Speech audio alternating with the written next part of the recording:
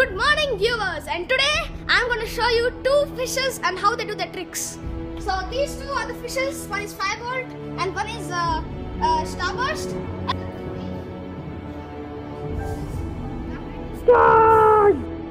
Yeah!